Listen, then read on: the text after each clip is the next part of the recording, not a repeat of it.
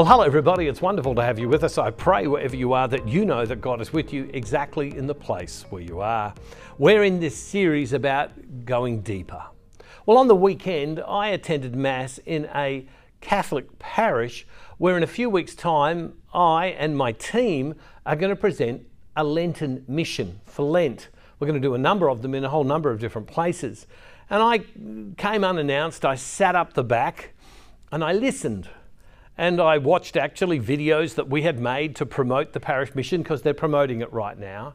And I listened to people talk about what was happening and encouraging people to go. And it occurred to me that when people come to this mission, as they will to these missions in their thousands, that what will happen is that is that is that many of these people will go deeper because of what God will do in their life.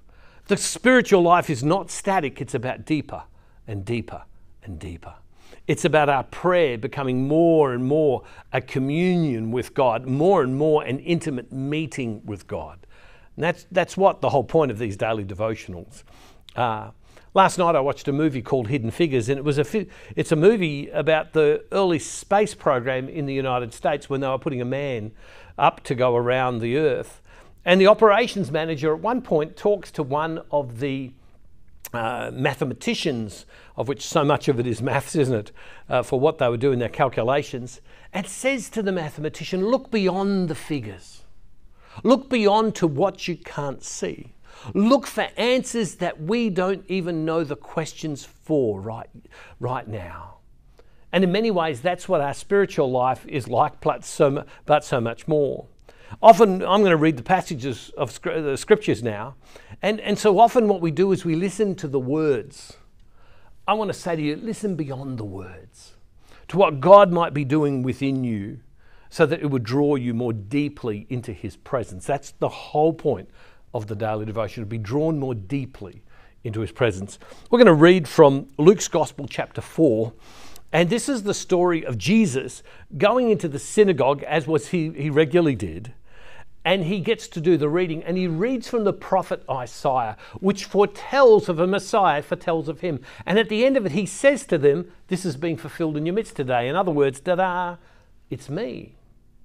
And there are people who ridicule him ultimately, are amazed by his, how, the, the quality of his speech, but also are ridiculing of him, saying, How could this happen in our town? How could this be the boy of someone that we know? Isn't this the kid that used to run around the village?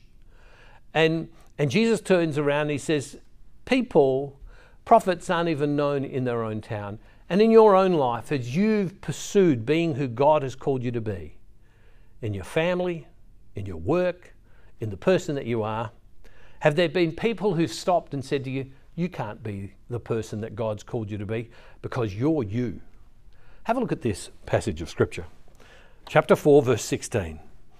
When he came to Nazareth, where he had been brought up, he went to the synagogue on the Sabbath day, as was his custom. In other words, he went regularly. He stood up to read, and the scroll of the prophet Isaiah was given to him. And he unrolled the scroll, and he found the place where it was written. He's handed the scroll, he goes and finds the place. He clearly wanted to say something to them. And then he reads what some people describe as his job description, why he came. Have a look at this.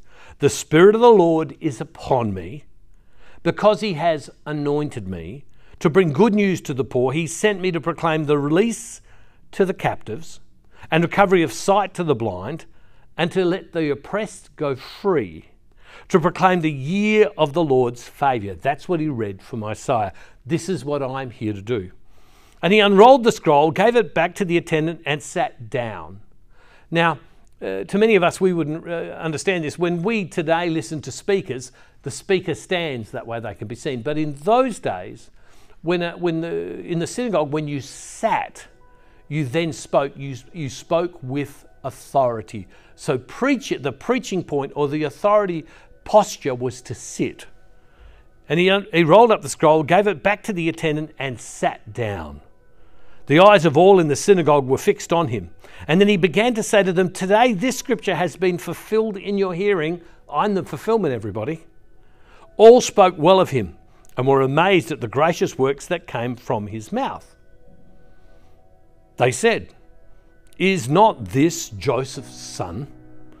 And he said to them, Doubtless you will quote to me this proverb, Doctor, cure yourself.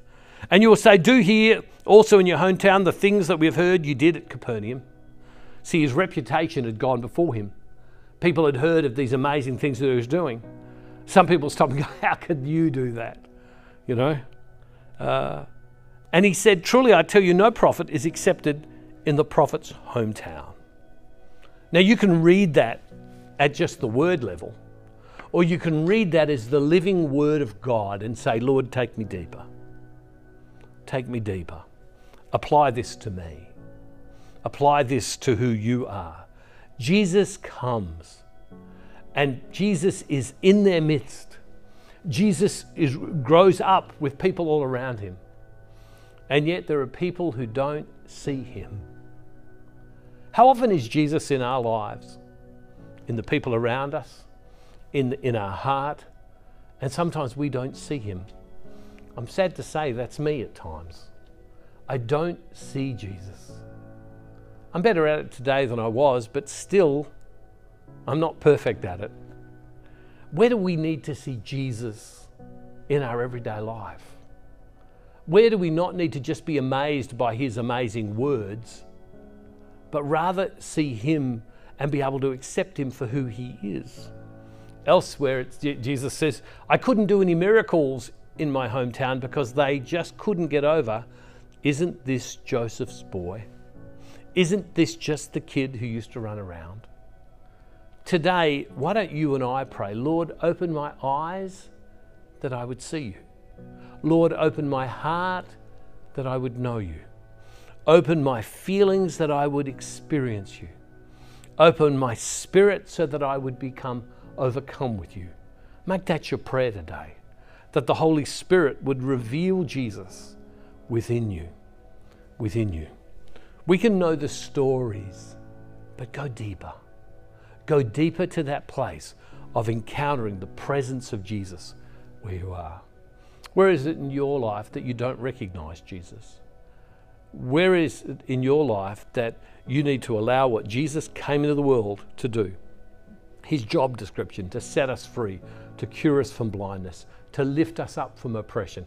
Where do you need to allow Jesus to do that in your heart? Doesn't mean anyone will understand it, but you will know it within yourself. Loving Father, we thank you today that you're with us. Reveal yourself to us. May we know you deeper and deeper today. And Father, we make this prayer in Jesus' name through the power of your Holy Spirit. Amen. God bless you all, everybody. See you tomorrow. And don't forget, wherever you are, God is never far from you.